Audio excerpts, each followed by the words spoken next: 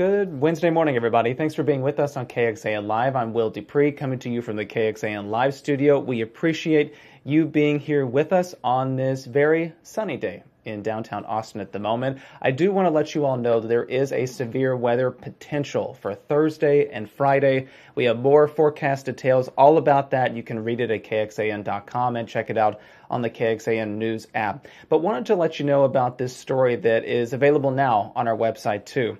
Here's the headline right here. It reads, How are animal shelters addressing their overpopulation issues? We have told you a lot on KXAN about what shelters are doing with a recent increase in cats and dogs coming into their care. So we took a solutions based approach, asking them what they're doing to try to deal with this situation as it's not going away anytime soon. And the reporter behind this story, again, that you can find on our website, is Ivy Fowler. She is one of our interns here at KXAN and is a student at UT Austin studying journalism and has been with us for the past few months. Uh, exploring this whole news world. Ivy, thank you for being here. We appreciate it. Thanks for having me, Will. Excited to be here. Yeah, we're very excited about that. And it's always a good day to talk about cats and dogs. Very nice to do that too. But uh, you really wanted to look into this issue about how pet shelters are looking at overcrowding and overpopulation and dealing with that. So explain what led you to reporting on that and checking the story out.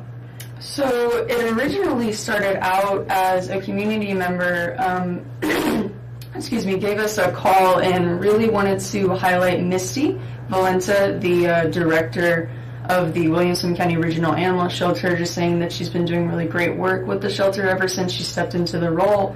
So Misty and I, we, we got on the phone together, we had a conversation about what she's been doing, and I kind of didn't really see the, the room for a profile piece necessarily, but what I did see was the potential to really highlight what the animal shelters are doing right now to address this issue that's been going on because we know that it has been an issue.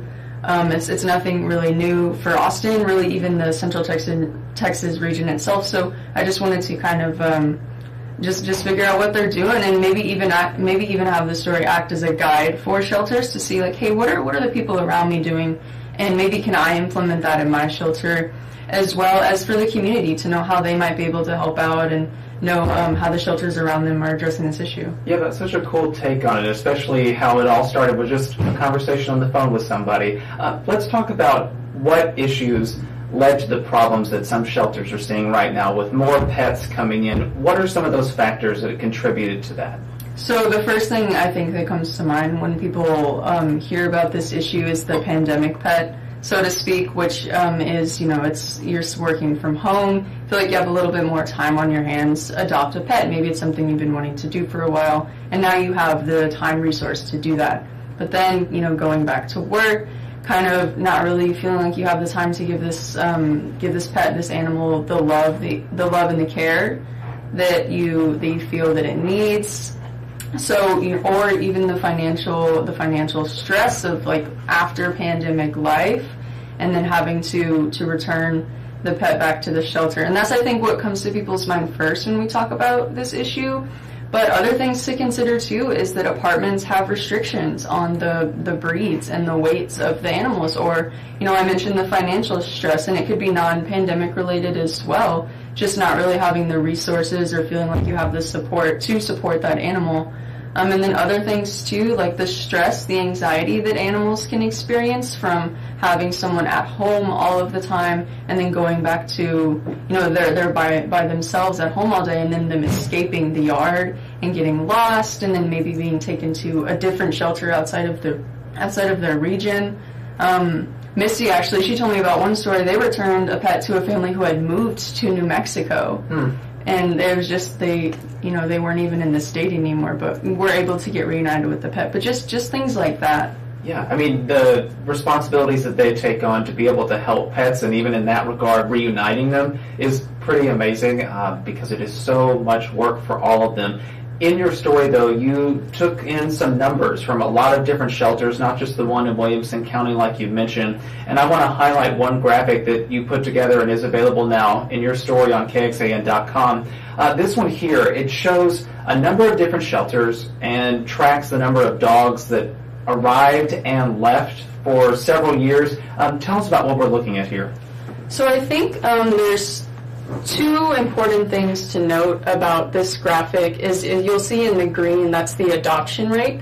And then you'll notice in 2020 for the majority of the shelters all Houston Humane, Austin and Williamson County that green bar is increasing in 2020 right? You see they saw a huge increase of adoptions during the period where people were working from home. But then you'll see that green bar start to go down again. And then the second thing that's important to note as well is anytime there is um, the yellow bar, the uh, the the animal or the dogs leaving.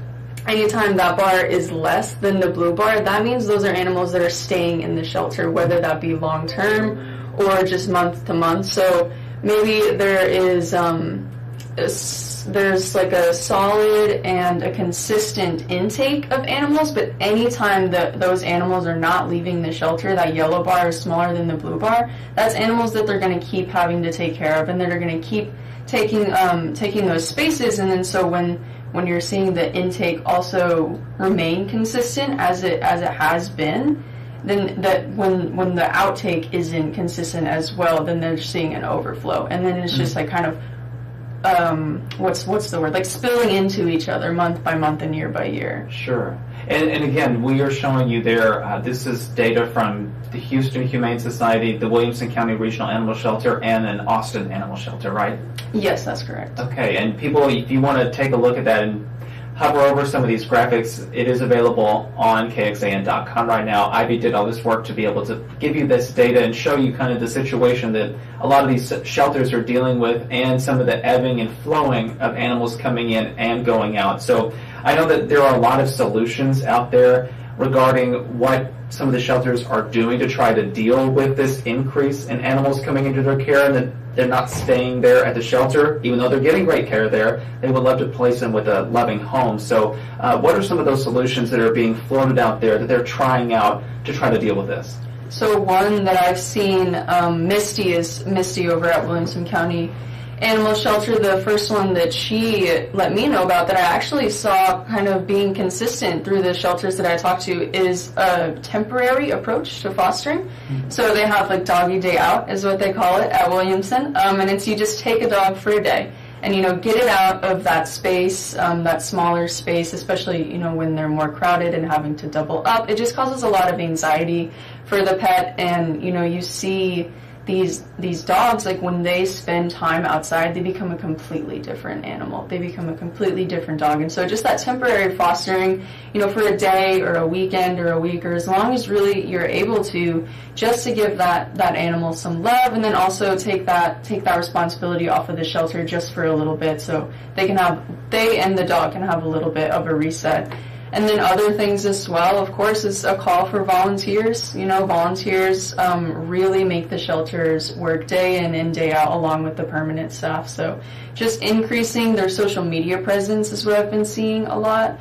Um, increasing the accessibility to volunteering, making it to where it's not um, it's not something that's scary to approach. You can just kind of walk in and say, "Hey, like, how can I help out?" And so those are the two things I've really been seeing as well. And then of course Austin Animal has had to restrict their intake. That's right. Um, they the um, those Austin Austin Animal restricting their intake is the only shelter that I spoke to that has been doing that. Houston Humane did do it a few years back, but they are open for they are open for intake again. But Austin Austin Animal is just feeling. I mean, they are one of one of the largest shelters in this area. I think the largest shelter in this area. So just like they're um, yeah, having to restrict that in- intake, unfortunately. But you know, of course, their goal is to get back to um, get back to standard operating and be able to take in those those pups and kittens. Kitten season is coming up, so that is true. We had some reporting about that as well on KXAN.com. So there's lots of pet coverage for us there. But if you want to check out Ivy's story again, the headline there: How are animal shelters addressing their overpopulation issues?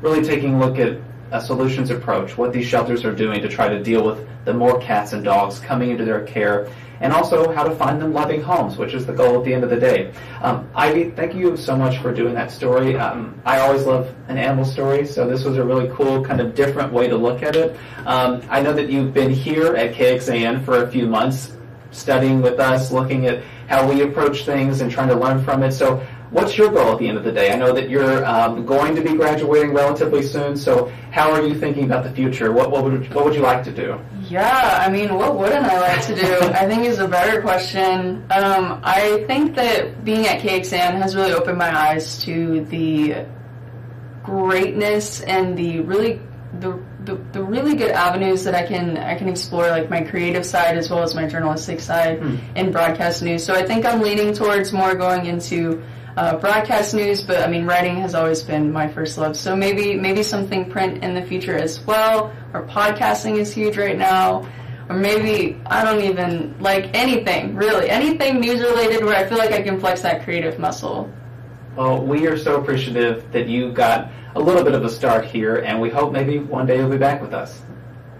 Fingers crossed. All right. We'll well, Ivy, thank you again so much for your story, and you can check that out on kxan.com. We appreciate you being with us again. Thanks, thanks so much. Thanks for having me, Will. All right, everybody, you can read Ivy's reporting, and hopefully there'll be much more on our website it's coming up soon on kxan.com, as well as the KXAN News mobile app. So please check that out too, and download it if you haven't done so already. I'm Will DuPree in the KXAN live studio. We appreciate you being with us here on this Wednesday morning. We'll see you back here at another time. Hope you all stay safe and healthy. Take care.